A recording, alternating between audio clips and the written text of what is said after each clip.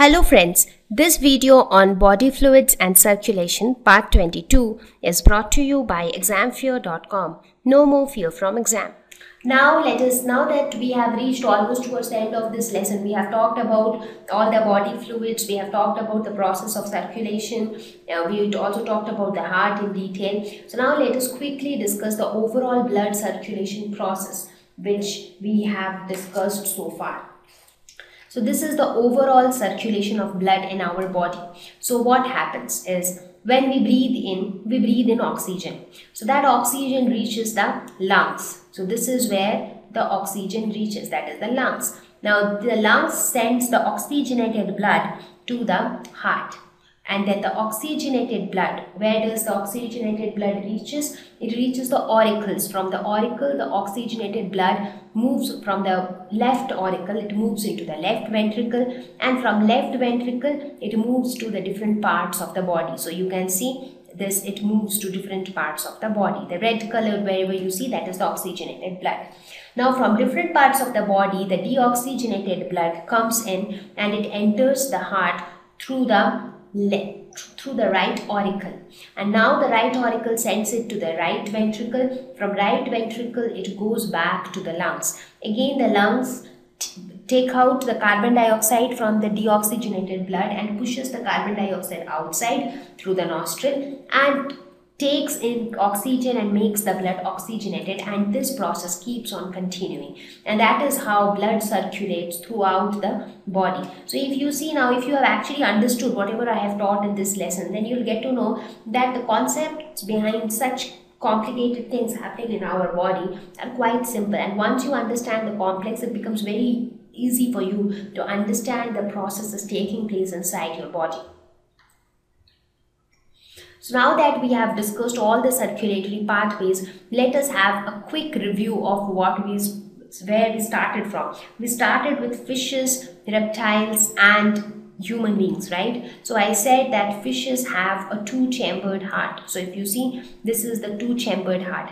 Then we said that the reptiles and amphibians, except the crocodiles, they have a three-chambered heart.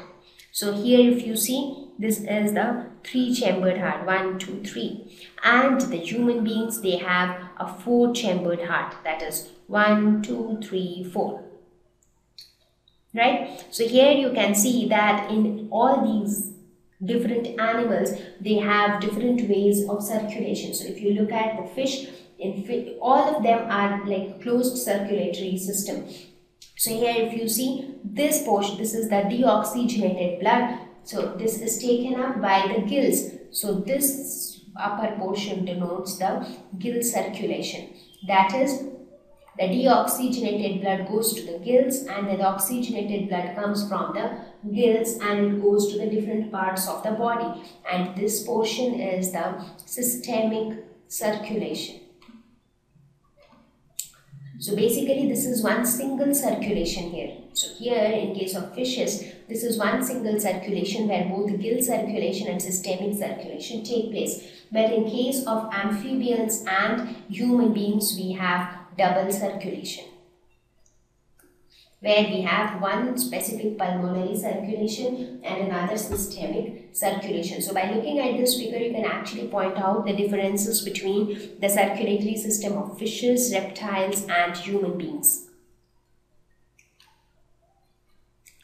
So with this, we'll end our discussion on the circulatory system. Now let us look at some of the disorders which can happen due to some misfunction of the circulatory system. Now, some of the common disorders of the circulatory system are hypertension, heart failure, coronary artery disease, angina. These are some of the common disorders. Now, hypertension is something which I'm sure all of you are aware of. Maybe your grandparents or somebody who is very old at your family, you would have heard that they are suffering from some heart disease or because it is something very common, especially hypertension is something very common. So let us look at the causes and symptoms of the common circulatory disorders. So we will start with hypertension. So this problem of hypertension is often referred to as high BP that is high blood pressure.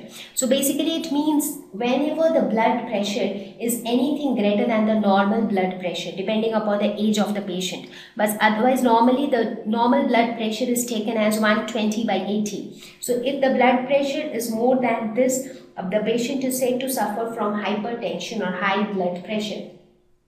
Now what happens if the pressure is high. So in this case, what happens is that because this pressure actually denotes the pressure exerted by the blood on the walls of the blood vessels. Now, if the pressure is so high, there are chances that the blood vessels might be ruptured. So the heart has to work harder to pump blood to our body. Now, when the heart works so harder, this hardens the arteries and can cause heart failure. Now, some of the symptoms is symptoms and cause. Cause is persistently elevated blood pressure in the arteries and some symptoms. Now, there are no specific symptoms as such, but this can cause severe damage to kidneys, heart, brain, and other organs. Sometimes it happens that when the heart, blood pressure goes too high, it can cause heart failure, heart attack, or it can even cause uh, attack to your brain. So that means it can be fatal. So that is why in order to keep it under control, there are certain external factors which can be controlled. For example, smoking, alcohol, being obese or uh, if you have some genetic history of the same. So the diet and all those stuff can be taken care of. A proper diet, uh, good exercise, not trying to gain weight, all these things can help to control hypertension. Next is heart failure. So heart failure occurs. The cause is the heart fails to pump blood effectively. So that is the purpose of the heart that it has to pump blood. But if the heart is not able to pump blood, that is known as heart failure. Now if this happens, obviously the survival chance decreases because the, if blood is not being pumped out of the heart, blood will not reach different parts of the body. So the circulation will stop. The cells of the body will uh, lack nutrients they need. So some of the symptoms are shortness of breath, irregular heartbeat, weakness, cough, weight gain. So weight gain is something which is not at all good for any of the heart diseases.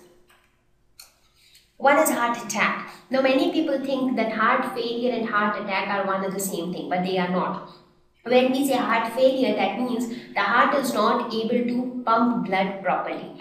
But when we say heart attack, that means that the heart muscles are damaged due to lack of blood supply. That means the muscles are not getting sufficient oxygen and that is why the muscles have got damaged and the muscles are not working properly. Now see, all the diseases are related to each other. For example, hypertension can cause heart failure. Hypertension can cause heart attack. Similarly, heart attack and heart failure are also related. If the, if the muscles, heart muscles are damaged, that means the heart will not be able to pump blood effectively. So that means they are linked, but these two are two different things. Now, what can happen due to lack of blood supply or when can there be a lack of blood supply? Now, it can happen that some of the arteries or the veins have got blocked so when they get blocked due to deposition of some fibrous tissue or due to deposition of fat or cholesterol, that time the blood doesn't flow properly. So the heart muscles do not get proper supply of blood and as a result heart attack can take place. Some of the symptoms are heart stops beating, chest pain. These are some of the symptoms. Sometimes the patient sweats too much uh, when there is a heart attack coronary artery disease which is also known as atherosclerosis. So what happens here is uh, the lumen of the arteries are narrowed down. That is, let us suppose arteries are tube-like structures, something like this. Now let us suppose what would happen if this becomes thinner. Now if it becomes too thin, then the blood components might not be able to travel through it properly. So in that case also there might be inadequate blood supply to different parts of the body. So some of the symptoms here again is chest pain because if you, you are not getting proper blood, so if proper blood is not received, then obviously the heart will not be able to function properly. Angina, this is another disease which is caused due to lack of oxygen supply to the heart muscles. So the heart muscles also need sufficient oxygen, they also need sufficient blood to perform their function. So here also the symptom would be acute chest pain. So these are some of the common circulatory disorders, their causes and symptoms. But some of the common things that can be controlled to prevent any sort of circulatory disorder is quit smoking, quit alcohol or reduce it to a large extent. Not try to be obese, that is maintain a proper weight. Uh, try to have a healthy diet and exercise properly. Thank you.